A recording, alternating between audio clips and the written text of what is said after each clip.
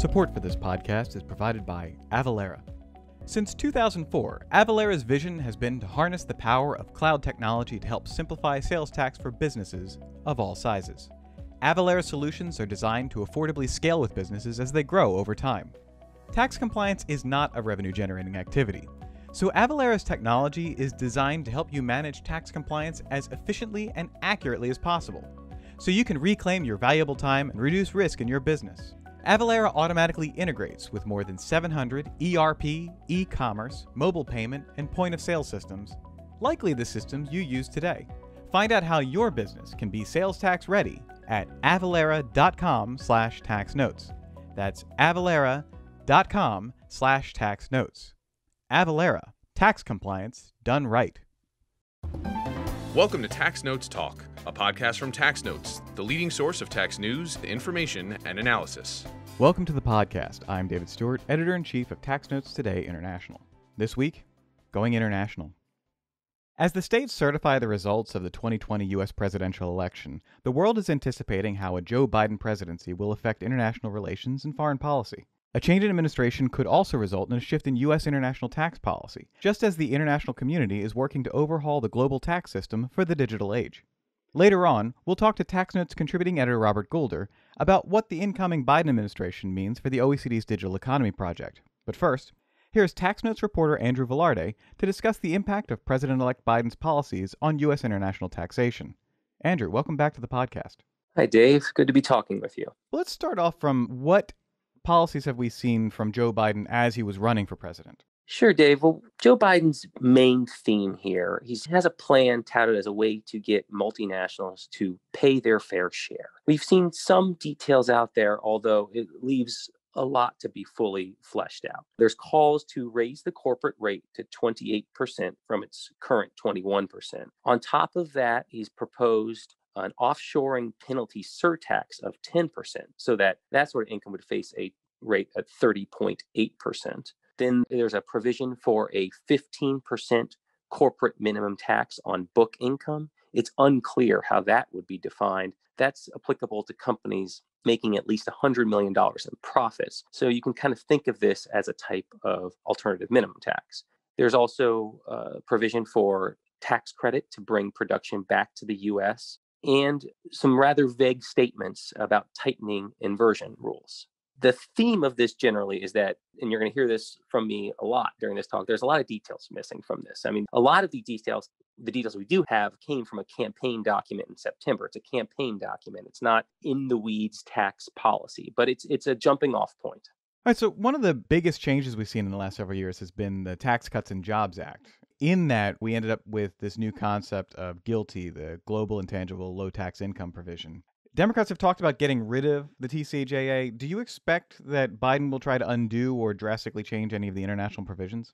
So I think you're going to see some substantial modifications at the very least. You mentioned GILTI. GILTI is actually where we have some of the most detail from the Biden well, had been the Biden campaign, but now the Biden upcoming administration. So let's just level set a little bit here. Under Section 951 Cap A, each U.S. shareholder of a CFC is subject to tax on GILTI, which is defined as the excess of its pro rata share of tested CFC income over a 10% return on its pro rata share of the depreciable tangible property of each CFC. That last element, known as qualified business asset investment, or QBI. Now, there's a tension between whether to start from scratch or substantially modify the TCJA, and we've gotten more details on these GILTI changes by the Biden administration. There are several prongs to these changes. One, for a while now, Biden's talked about modifying the rate on GILTI to go from 10.5% to 21%, a doubling of the rate. GILTI is taxed at a lower rate than the general corporate rate of 21% currently. Biden wants to double that. He wants to move to a country by country determination when examining the rate. As well as in these most recent campaign document, he has language in there that would seem to suggest eliminating the exemption for the deemed returns under 10%, the QBI that I referred to earlier. The effects of these changes could be huge, but the exact amount is hard to pin down. We have the Tax Policy Center has modified their estimates of these changes substantially as more details have come out. It started estimating back in March around $300 billion. It's jumped up to $705 billion when they estimated it in October. Tax Foundation has been a little more consistent with their estimates on how much revenue this will raise, around 290 billion. All these numbers are over the course of 10 years. Regardless, though, it is probably slated to be one of the biggest revenue generators. With these GILTI modifications that they're put into place, another thing to consider is many multinationals may not face the minimum book tax I talked about earlier. And a, f- a final element I'd like to point out is that this was a campaign document. They've oversimplified GILTI. They just call GILTI a doubling the rate from 10.5% to 21%. Well, GILTI is it's a more complicated than that. It starts with a 10.5% rate, sure, but there's a foreign tax credit haircut. They only allow 80% of your FTCs, which means incomes could be taxed at 13.125%. On top of that, there are expense allocation rules, which could further reduce the cap for foreign tax credits. We don't know how Biden will address this. It's not in anything public that's come out, but there's possibility for change there as well.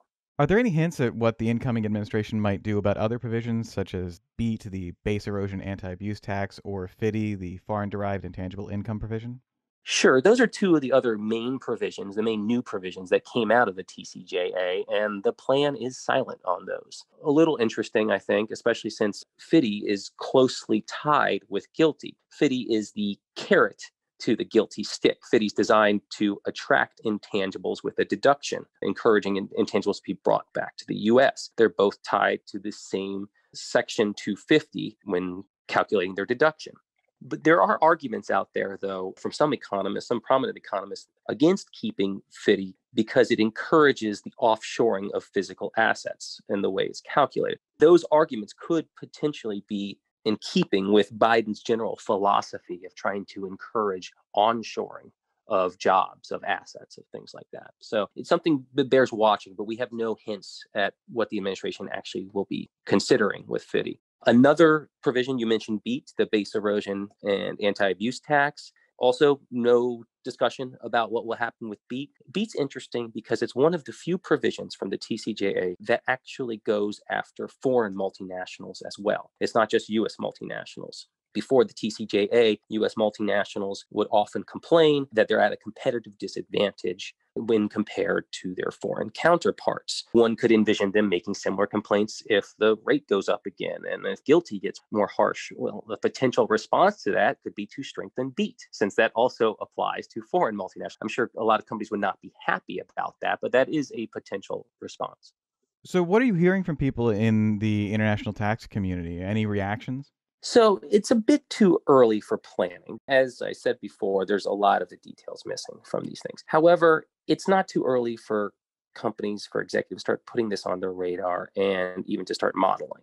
If executives, if practitioners are really looking for where this plan might go and have more details, I've talked to several folks that have recommended looking back to the old Obama Treasury Green Books. These are the details that came out in conjunction with the Obama budgets every year. The most recent year was fiscal year 2017. And there's a lot of detail there. And the amount of overlap potentially could be significant. I say potentially, we don't know for sure. But for example, in the fiscal year 2017 budget, and appeared in previous years as well, there is a proposal for a minimum tax on CFCs and branches at 19% minus 85% of a per country foreign tax rate, albeit reduced for an allowance for corporate equity representing a risk free return invested in active assets. Now let's take a step back. Well, that last part sounds an awful lot like QBI. And speaking more generally, it sounds a, a little similar to GILTI.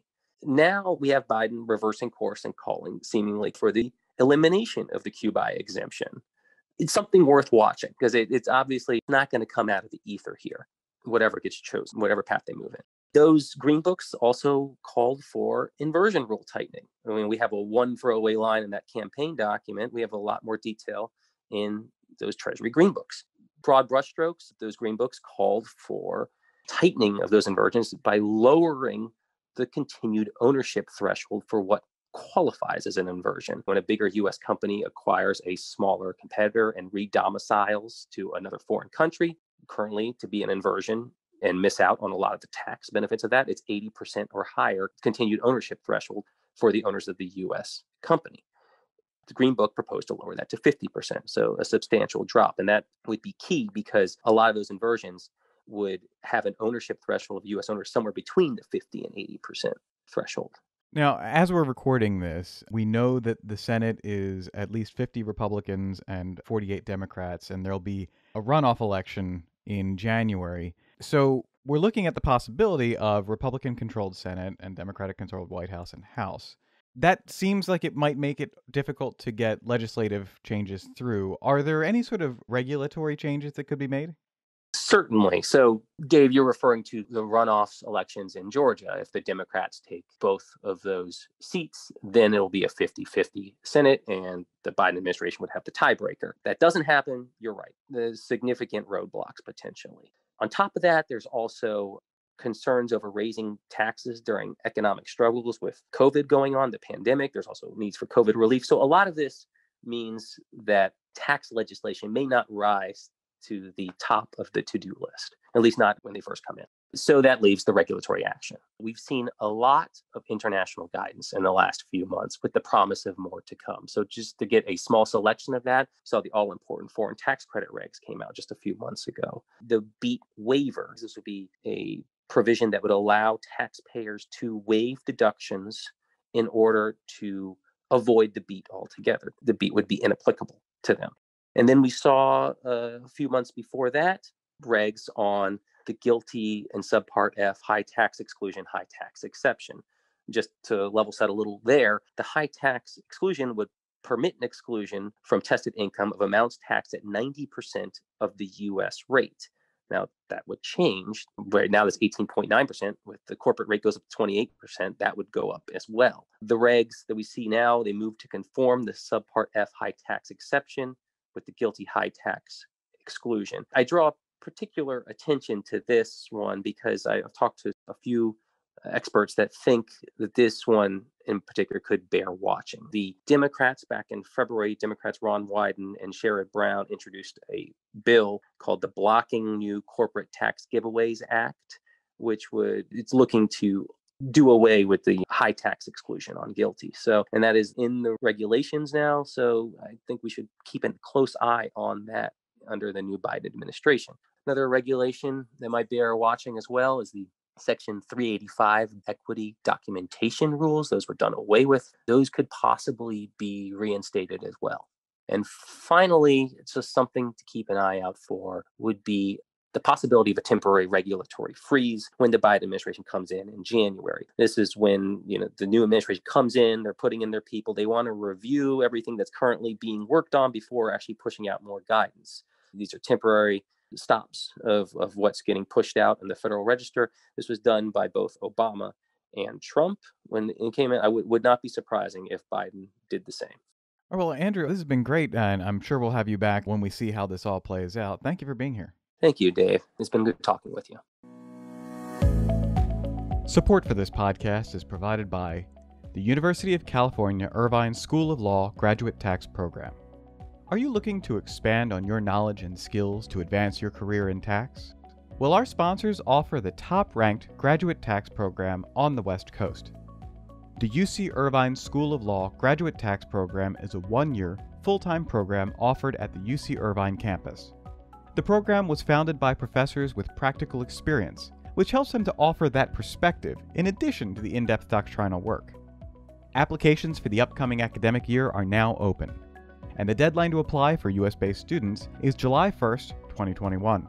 International students must apply by April 1st. Apply today. Visit law.edu slash gradtax. That's law.edu slash gradtax. And now we'll turn to the election's potential impact on the OECD's Digital Economy Project. I'm joined by TaxNotes contributing editor Robert Goulder. Bob, welcome back to the podcast. Thank you for having me, David. All right, so before we really get into it, could you tell us where the Digital Economy Project currently stands? Yes, it stands at a very interesting point because they were supposed to be wrapping things up by the end of this calendar year, and they realized, well, we're going to have to push it a little bit down the road, but not too far. And that is not the worst thing. I think, regardless of what you think of Pillar One and Pillar Two and the economic assessments and so forth, you need to give them a heck of a lot of credit for just keeping on the time frame. I mean, it's such an ambitious project here. Just that they've come this far is remarkable. But we've learned now with the blueprints that came out in October, we know a little bit more about Pillar One and Pillar Two for those who, who, who don't know, Pillar One is about new taxing rights and profit allocations for market jurisdictions. It's really kind of radical stuff, I think, because we're talking overtly here about formulary apportionment concepts. You have your amount A and your amount B, and we learned that amount C went away, but it was never really much of an amount, anyways. There's still a whole lot of questions that people are asking about amount A. I mean, I have issues with the scope. Lots of people have issues with the quantum. All that still has to be worked out over, you know, the next coming months until they finally say, okay, here it is BEPS 2.0 is finished, this is the thing you're looking at. What they have to do between now and then is figure out what is this residual amount? Because when you when you've got a big multinational corporation and money is fungible and you're looking at the accounting statements or the tax returns and you're going to have to distinguish between normal returns and residual returns and i think these are things that are going to maybe be an awkward fit for the tax scenario. They seem like rubber numbers to me. So you're going to need some really tight rules to pin down what is this quantum because people are going to want to game it. If you don't like what happens with amount a then you're just going to play games with this quantum and say okay this thing we don't like is going to be happening to an ever decreasing pot of money because we're just going to say there, there's not much of a residual return left. It's all normal return. So that's out there. Then pillar two, I'm going to think is a little bit less sensitive it's a, a, global minimum tax. Again, that is kind of radical in the sense that 20 years ago, nobody was doing it. Nobody was even talking about doing it. But here we are. The global minimum tax is somehow the least controversial of the two pillars. You've got these four interlocking rules. We've all been reading about the income inclusion rule, the undertax payment rule, a subject to tax rule, a switchover rule. Again, with the blueprint, we know a little bit more about them. The switchover rule has kind of been incorporated into the subject to tax rule because you're looking at the treaty context there. And i mean what i'm hearing about when i talk to people about what what is still out there that's getting people to scratch their heads with pillar 2 is this reliance on a, a common tax base for the multinational group using financial accounts like, wow, what are we doing with that? Imagine a scenario where you have a huge corporation and they want to communicate to Wall Street and investors and institutional investors and say, come invest in us because we're great, buy our stock. Here are our financial accounts to show you how profitable we are. And then people from the tax department are going to say, whoa, whoa, whoa, put on the brake. Don't release those things. We need to fiddle with these numbers a lot. We don't want to be declaring too much profit in our statements because we're going to be taxed on that under pillar two. And the question you get at that I think is fascinating, and, and I don't know if there's a firm answer there, but this is what people are going to be thinking about between now and when this gets wrapped up is which is a more malleable number? Your taxable income calculated under the Internal Revenue Code and regulations, or what goes into your financial statements because sure there's international standards out there like the IFRS or here in the US we have a different standard GAAP, and you kind of start to wish that the, this project 10 years ago to converge the two had maybe gone a little bit further but okay we've got two different accounting standards. That's better than having three or four or five international accounting standards. At least you have some kind of standards. But if you're a firm and you want to play games which is more susceptible to that. And I used to think before BEPS 2.0 that there was sort of a more objectivity with financial accounts. And that would be a great source for corporate tax base or maybe a corporate AMT if you based it on financial accounts. Yeah, that would be great because it's more objective and less prone to manipulation. Now I'm thinking, well, wait a minute, not really. Maybe the financial accounts are actually the more malleable of the two. So that's got a lot of people scratching their heads. And then is any of this really going to happen? You still have, again, uh, this is under Secretary Mnuchin, this idea of this whole thing being a safe harbor.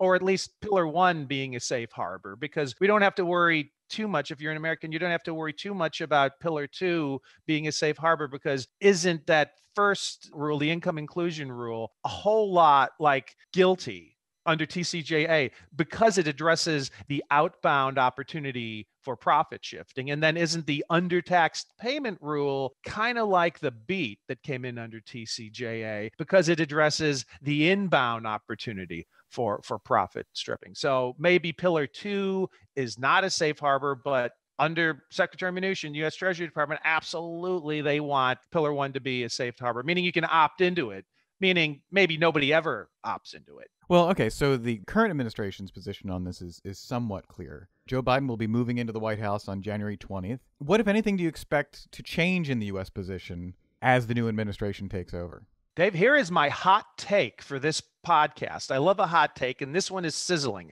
Everything in the known universe is going to change when you go from the Trump Treasury to the Biden Treasury, except the views on BEPS because the fundamental nature of corporate America and lobbyists and defending your national champions, I just think this isn't going to change that much. And I was thinking, I actually went back and listened to a podcast you recorded with Bob Stack which if you haven't heard it, go back and listen to it. It's in the archive. It's brilliant. Bob Stack, of course, was the U.S. Treasury Department's point man on BEPS version 1.0, which was Obama years. And what struck me is that he was saying things that just sound point for point parallel to what Chip Harter, the point man for the Treasury now under Trump, has to say. And the lack of sort of conceptual differentials between what you would hear from Mr. Stack and what you would hear from Mr. Harter really makes me think that that's just going to continue. There's going to be a third guy or gal. We don't know who it's going to be, but they're going to be basically maintaining the same positions that we heard from Chip Harter or that we heard from Bob Stack. So there you have it. I think when all the dust settles, nothing's really going to change. It might not be at some flashy news conference. It might be buried in a footnote, but you will hear at some point US Treasury Department under Biden say, yeah, it needs to be a safe harbor. So that also brings me to another question I have. We are currently in a transition period. There is going to be a successor to Chip Harter at some point, but the current administration is not cooperating in the transition period. Does that have a potential for delay or or just messing up the changeover to whoever the new point person is going to be. I am reminded of that old adage never let a good crisis go to waste. So what we have here maybe doesn't rise to the level of a constitutional crisis, but it's a big problem. And all sorts of parallels are being drawn to, you know, the 9/11 report, which said that there were issues because of the whole Bush v. Gore thing. And when you don't have a smooth transition, there's ripple effects that we can't even anticipate. Yeah, I think you are going to have that where people are going to come into Treasury and they're going to be delayed. They can't hit the ground rolling because of these transition issues. To the extent that is a crisis, it can and should and will be used to push things back even further. So I'm thinking here's a second hot take. All this stuff about the final, absolutely final BEPS 2.0 determinations and consensus documents coming out mid 2021 push that back to the end of the calendar year 2021. One, because it feeds into what I said before. The US still doesn't like this. Still, the US doesn't like this. They're not going to like this. Silicon Valley, our tech firms, they're not going to like this. You can't help but look at all this stuff about the digital economy and say it really feels like a new tax on American multinationals. And, you know, try to figure out the scope of who this applies to right? It's the automated digital service sector plus consumer facing businesses. Okay, consumer facing businesses. What isn't a consumer facing business? But then there's these carve outs like, oh, it's not going to apply to, to the financial sector and so forth. Yeah. What do you do about cloud computing? I mean, that's sort of business to business. That's not really business to consumer. You know, there's enough raw material there that just still needs to be worked out that I think you use the excuse of the transition to buy yourself some more time because delay is almost inevitable because there's really, I think, still fundamental disagreements. All right. So if you had some advice to give the OECD and the inclusive framework on how they should be preparing for the new administration, what would you tell them? Well, there's two levels of advice. There's the kind that I would give them formally on the record with, you know, my tie done up and speaking proper English and everything like that. And then there's the more frank, you know, salt of the earth advice that I would give them. The salt of the earth advice that I would give them is take some of the resources that you're putting into the whole digital economy exercise and instead try to develop guidelines on what a model DST should look like because that's where we're headed. We're going to have DSTs. They're not going to go away. They're going to get bigger. The rates are going to go up. If a country doesn't have a DST, what are they doing? What are they waiting for? Get with it, guys. These are going to have lasting power because even if by some quirk you've got the US signing on to this, isn't it going to take years for it to be implemented to get stuff through Congress? I mean, we just had TCJA and now we have to have all these other changes. And with congressional gridlock, you think all that's going to happen? And does it get done through another MLI? Well, what if the US doesn't sign the next MLI? We didn't sign the first one. During all that time, these other countries are going to be getting DSTs. Now, maybe the EU will wait because there's been a statement from the EU they're going to respect the OECD timeline. So maybe you don't get the EU directive, but countries are going to be doing it on their own. France is going to start collecting in December. UK's collecting it in December. Spain, I think, starts in January. They're just going to get bigger and bolder. Africa, now the African Tax Administrator Forum have been released guidelines for how African nations should start doing this. Everyone is jumping on the bandwagon. It's going to be like VAT, where every country in the world except for the US has a VAT. I can see a scenario where every country in the world has a DST except for America. There's a parallel there. So, how about encouraging those countries to enact DSTs that are less disruptive and are better designed and maybe allow DST payments to be creditable against the corporate income tax? Who knows? There's a range of what we're going to see are good DSTs and bad DSTs. Why not push governments to enact good ones? Nobody's doing that. That's a void. It's a vacuum that needs to be filled. That's what I think the OECD should be doing. Now, the formal advice as what should they do for preparing themselves for the next administration? Well, they need to understand the American mindset because we're an economic superpower. There's this tendency for us to want to push everything into a tariff box. If somebody enacts a tax that we don't like and it looks like a tariff, we want to respond by putting tariffs on them. Now, that's a very Trumpian thing to do but it does follow from being an economic superpower, which is where we are. So I would tell the OECD be prepared to explain to the Biden Treasury why these taxes aren't discriminatory, why DSTs are not really looking like tariffs because they kind of do. Explain to them why this isn't a case of the whole world ganging up on us. We have seen the Trump administration threatening tariffs against all of these countries that are imposing DSTs. Do you expect any sort of softening in that position under a Biden administration? Yes, there will be some softening, but I don't know if when push comes to shove, they won't be willing to make that threat. So it's a type of softening that may be a bit superficial. And here's what I mean I don't think that the Biden administration is anything like what the Trump administration was with its fondness for tariffs. You got the sense that the Trump administration took some visceral pleasure from applying tariffs to imports. Like, there, we got you. We're hitting you with a tariff. It gave them a sense of gratification. You're not going to have that but it is still a tool and it's never going to be off the table, especially when you have a consumer market the size of the US market. So it's still going to factor in. It's just not going to be the first thing that comes out of our officials' mouths. Do what we want or there'll be tariffs. I mean, one thing I think we can expect the Biden administration to do is lift the steel and aluminum tariffs under the new US trade representative that comes in. And that's not to appease people in other countries. It has nothing to do with American first. The people who want those tariffs lifted are US companies who depend on the steel and aluminum for their own supply chain. So lifting the tariffs is not a case of being nice to some foreigner. It helps US businesses grow and be competitive. So you're going to see tariffs used less and the threat of tariffs bantied about less, but they still have to be on the table. It would be an exercise in self-defeat if Biden just said we're we're never going to have any more tariffs because you know, we're nice guys and we like all you foreign exporters. No, you're not going to have that. So yeah, they'll there'll be some softening. In addition to the steel tariffs, do you see any sort of unwinding of the tariffs that we have in place at this point? There's been a lot of back and forth about the Boeing Airbus dispute. Is there room for a Biden administration to pull back on a lot of the tariffs that we've seen over the last few years?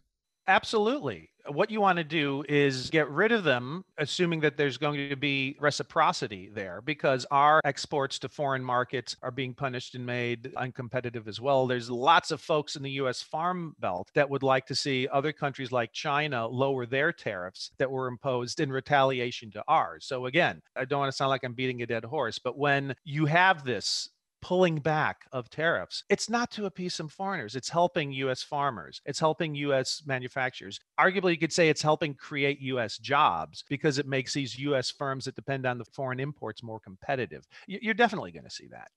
To another point that you made, you discussed you want to see the OECD come up with a model DST. Is there a world where the US can accept a more general use of DSTs around the world? Well, it depends. I certainly can see that world. I actually think that DSTs get a bad rap. In the academic and intellectual scholarly community, DSTs get no love whatsoever. So I feel a bit out on an island when I'm positioning myself as a guy who says nice things about DSTs. It is a tax on turnover, it is a gross receipts tax, and that is a terrible tax. Let me get that out of the way right now. Yeah, it is not a good proxy for taxing net income. It's a gross basis tax. That's a flaw. However, how flawed is the net basis tax that we have now called the corporate income tax? Why would you have BEPS point one and BEPS point two if there weren't issues with that? Also, it's a tax that can actually be paid and collected and it responds to political pressures. I mean, all tax is political, right? We do not have tax codes and regulations that are brought together purely by academics who think, oh, this is the best policy. This is optimal policy. Let's do this. We get tax laws as a result of politicians who have to fundraise and in the House are up for reelection every two years. Our tax laws are written by people who are perpetually campaigning.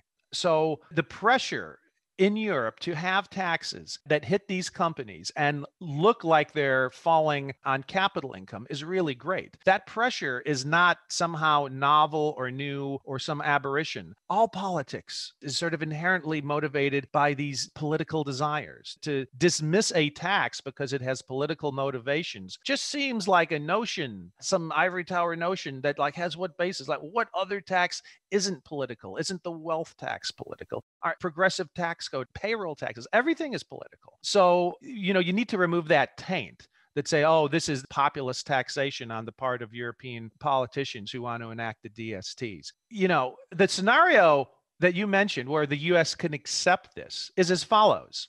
If it really is a tariff, and let's say the economics of a DST mirror that of a tariff, you pass it on to the final consumer. Okay, who is consuming the digital services provided in France or the digital services provided in the UK or Germany or any country with a DST? You have to pass it on to the consumers. So if Netflix gets hit with a DST and they're able to pass it all on to consumers, then the consumers in those countries which is not the United States, not our consumers, it's somebody else's consumers. If they can suck up the tax burden, then the US companies don't care it's like cost of goods sold. It's a cost that's passed on to somebody someplace else. It's not really translating to a tax on the shareholders. If that becomes firmly established, that the burden of the DST isn't falling on the shareholders of the US tech sector, then maybe they're fine with this. It's just another cost that gets passed on. Of course, you know probably where this is going. If that's really the case, why don't the other countries be intellectually honest about it and basically treat it with a VAT? Because if it does fall on the final consumer, there's no difference between a DST and a VAT in that case. But again, the political pressure is that the optics of having European consumers pay the European DSTs is just unacceptable. They cannot live with those optics. They need the sort of fig leaf that it's a tax on a big rich corporation out there in Silicon Valley, that it's falling on capital income. So there's that. All right, so we've covered what you're hoping for. What do you actually expect over the next 12 months? What sort of changes do you expect to see from the US in its international tax policy, and what sort of agreement do you think that the OECD can produce? Well, if my crystal ball was that good, I'd quit my day job and move to Vegas. I have a feeling that the US still isn't going to go along with any of this. What I think is actually going to happen is that everything gets delayed to the end of the calendar year 2021. And we very politely say, yeah, we'll be okay with pillar two, but we can't do pillar one Now, that sounds like defeat because so much energy and resources has gone into this. I mean, the whole point of BEPS 2.0 was to give these new taxing rights to foreign jurisdictions and let them have some of these residual profits. They're so desirable. And if Pillar One falls by the wayside, are they really getting that? But again, let me say this 20 years ago, a global minimum tax that in and of itself was radical. That's a bold thing. So if you look, when all the dust settles and the world has pillar two, but we just couldn't work it out on pillar one. Instead of saying that's a glass half empty, I'm going to say that's a glass half full. So I think what we're going to have is just consolidation around the need for a global minimum tax. All right. Well, on that optimistic note, we'll leave it there. Bob, thanks for being here. My pleasure, Dave. Now, coming attractions. Each week we highlight new and interesting commentary in our magazines. Joining me now from her home is Acquisitions and Engagement Editor in Chief, Faye McCray. Faye, what will you have for us? Thank you, Dave. In Tax Notes Federal, James Manzione explores issues that tax lawyers should be attuned to when reviewing real estate partnership agreements. Catherine Jordan and Doug Longhofer argue that when attacking conservation easements, the IRS should apply the sham entity doctrine. In Tax Notes International, Bruce Zagaris discusses a document release containing allegations that large banks processed illicit funds. Luis Vasquez and Luis Salinas discuss Mexican 2021 tax bill proposals that would strengthen the government audit, enforcement, and collection powers. And on the opinions page, Joseph Thorndike argues against the notion that taxes can never be raised during a recession, pointing out a flaw in rigid adherence to a typical analysis of Keynesian economics. Marie Sapirie discusses the promise and peril of FAQs.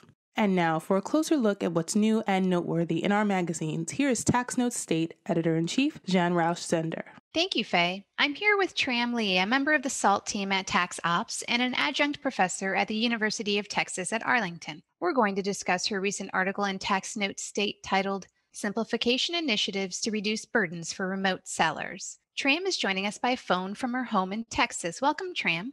Thank you, Jan. I'm happy to be here with you. It's great to have you. Would you provide our listeners with a preview of your article? Yes, absolutely. So, my article discusses the various sales tax simplification efforts that are geared towards helping remote sellers. So, you know, since the late 1990s, states have really long acknowledged that there's a need for simplification. And this started with the Streamline sales tax initiative, which this program aimed to standardize tax, create uniformity, reduce admin burdens and costs among the states, because these, these state tax systems were really not designed for e-commerce and really they didn't account for how we transact business today.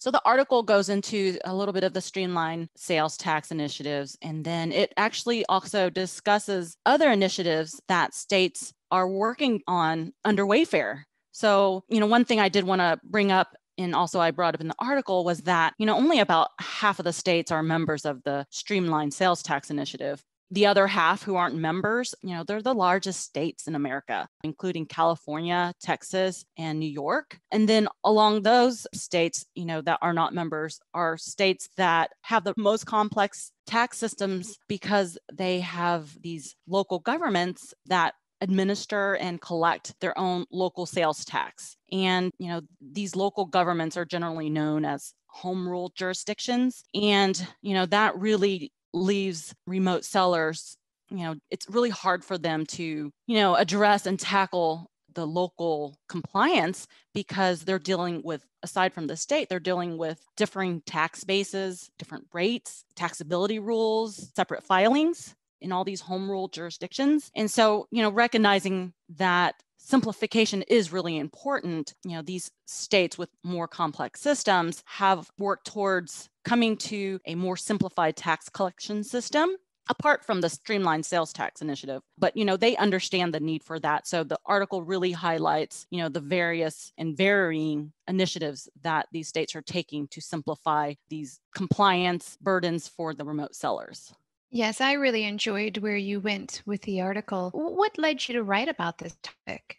So the impetus was basically Wayfair, right? Its impact on a lot of our small and medium sized businesses where, you know, they have sales to customers in a state and this now creates a sales tax collection obligation and creates exposure, right, if they're unaware of these new responsibilities. So, you know, highlighting, you know, this new collection responsibility, you know, it's really important that you know practitioners and remote sellers really understand these various simplification initiatives and really what it means to their business in terms of really does it help or is this something that really doesn't make sense for them? Very interesting. Before we go where can our listeners find you online? Well, um, you know, they can reach me via email, tle at taxops.com. They can also reach me via our website at www.saltovations.com or even LinkedIn or Twitter. Thank you so much for joining us today, Tram. You can find Tram's article online at taxnotes.com and be sure to subscribe to our YouTube channel, Tax Analysts, for more in depth discussions on what's new and noteworthy in tax notes. Again, that's Tax Analysts with an S. Back to you, Dave. You can read all that and a lot more in the pages of Tax Notes Federal, State, and International. That's it for this week. You can follow me online at TaxStew, that's S T E W, and be sure to follow at Tax Notes for all things tax. If you have any comments, questions, or suggestions for a future episode, you can email us at podcast at taxanalyst.org. And as always, if you like what we're doing here, please leave a rating or review wherever you download this podcast. We'll be back next week with another episode of Tax Notes Talk. Tax Notes Talk is a production of Tax Notes. You can learn more about us by visiting www.taxnotes.com/podcast. When major media wants the straight story, they turn to Tax Notes. Thank you for listening, and join us again for another edition of Tax Notes Talk. Tax Analyst Inc. does not provide tax advice or tax preparation services. Nothing in the podcast constitutes legal, accounting, or tax advice. A full disclaimer is included in the transcript.